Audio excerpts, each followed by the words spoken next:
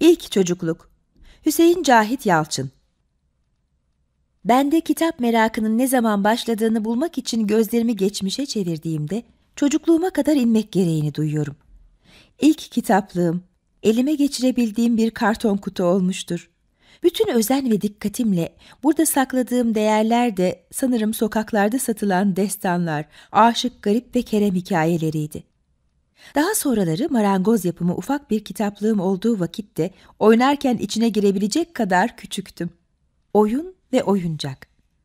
Başım pek hoş değildi onlarla. Babamın beni oyuna zorladığını bugün bile hatırlarım. Ama kitaplarla oynamam için özendirilmeme pek gerek yoktu. Sonunda babam kitaplara zarar vermediğimi anlayınca kendininkileri de bana bırakmakta güven gösterdi. Hazreti Ali'nin savaşları, Battal Gazi, Kara Davut. Elime nereden geçtiğini bilemediğim kitaplar. Aşık Garibe, Kerem hikayesine ye tuttuklarım bunlardı. Geceleri aile arasında okunan romanlar bile, örneğin Hayber Kalesi önünde Hazreti Ali'nin gösterdiği yiğitlik hikayeleri kadar coşku uyandırmazdı bende. Ev yaşamımızın bendeki en eski anıları bu gece okumalarıyla karışıktır. Yemekten sonra babam kahvesini içerken biraz konuşulurdu. Sonra babamın bir işareti üzerine ablam eline bir kitap alır, gaz lambasının yanına oturur. Bir gece önce bıraktığı yerden okumaya başlardı. Annem, babam sessizce dinlerlerken ben hikayeyi izlemeye uğraşır, sonunda yorulup minderin üzerinde derin bir uykuya dalardım. Bu gece romanlarından hatırladığım ilk romanlardan biri Felatun Beyli Rakım Efendi'dir.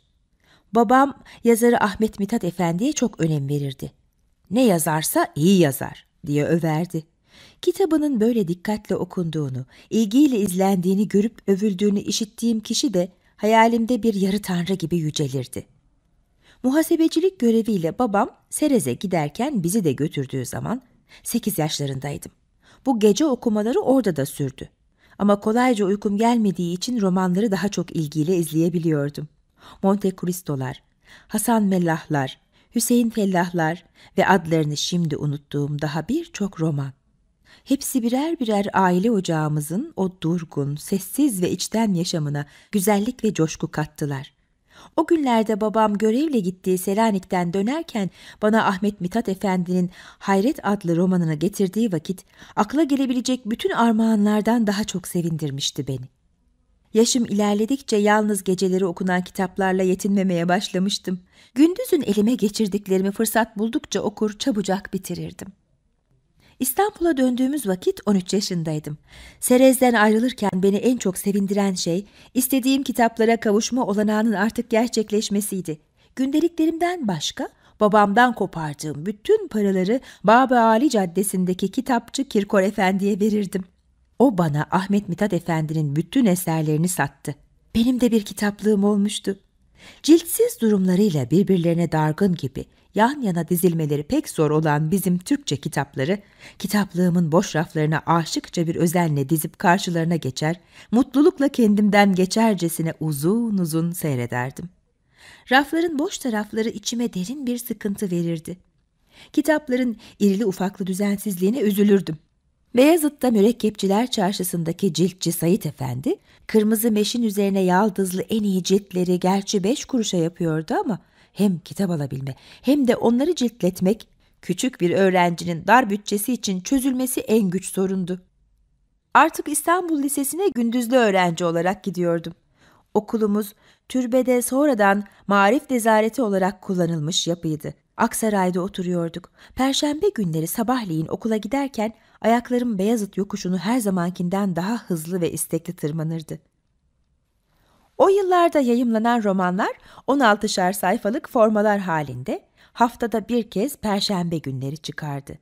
Artin adında bir gözü kör bir dağıtıcı tanımıştım. Beyazıt'taki köşede dururdu. Orası öteki dağıtıcıların da toplantı yeri gibiydi. Perşembe günleri ortalıkta epeyce roman alıcısı birikirdi. Ben bunların en bağlılarından biriydim. Artin bana güvendiği için bir alacak verecek hesabı açmıştı.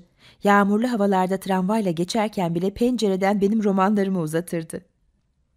Sayfalarını yırtmamaya özen göstererek dikkatle açar, okulda derslerde öğretmenin teneffüs sıralarında belleticinin gözünden kaçırmaya çalışarak ilgiyle okurdum. Özellikle bazı dersler roman ve gazete okumaya elverişliydi. Bu izni kötüye kullandığımız da olurdu. Cebir öğretmenimiz Boyacıyan Efendi, ders anlatışının tek düzeliği içinde ara sıra kendi kendine konuşur gibi şöyle derdi. 640 Hüseyin Cavit Efendi gene siyasayla uğraşıyor. Bu sözler üzerine ön sıradaki arkadaşlar arkaya doğru bakışır gülüşürlerdi. Ben bozulduğumu belli etmemeye çalışarak hiç işitmemiş gibi davranır, gözlerim kara tahtadayken bir yandan da sıranın altındaki gazeteyi yavaşça toplar, gözün içine tıkardım. Boyacıyan Efendi de ders anlatımına devam ederdi. Ahmet Köklügiller